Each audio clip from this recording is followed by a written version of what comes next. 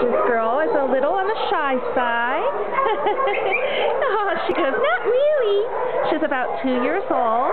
It takes a little while for her to warm up too, but really sweet and loving. She responds to treats. Oh, you're curious, huh? You just want to say hi.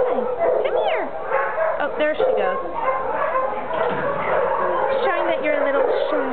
Oh, my goodness. Hi. very tall and thin, about two years old, German Shepherd. Show everybody your cute face. There we go. good girl. What a good girl.